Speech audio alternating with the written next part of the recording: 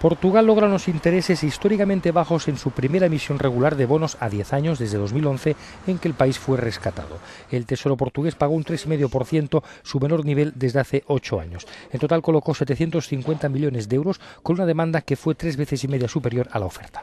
Atendiendo eh, a las incertezas y... En función de las incertidumbres de nuestro crecimiento, sobre todo en los últimos tres o cuatro años, y de nuestras reservas de divisas y capacidad para resolver nuestras obligaciones con los principales acreedores, podemos considerar que un coste del 3,5% es bastante interesante, destaca este agente bursátil del Banco Carregosa.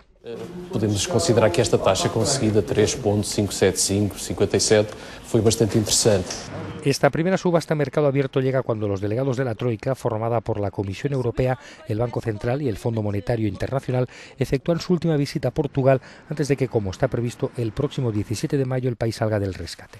El Gobierno todavía no ha anunciado si pedirá algún tipo de crédito posterior de seguridad. La Troika aún no ha terminado su duodécima evaluación y hay un proverbio que dice que no se debe despellejar un conejo antes de cazarlo, ironizó el primer ministro conservador Pasos Coelho, jugando con el significado en portugués de su apellido. Antes de poder dizer, nós... Estoy aquí, soy un conejo y no quiero ser cazado antes de concluir todos los ejercicios del ajuste. Hablaremos del programa de salida cuando tengamos la evaluación del último informe sobre la mesa.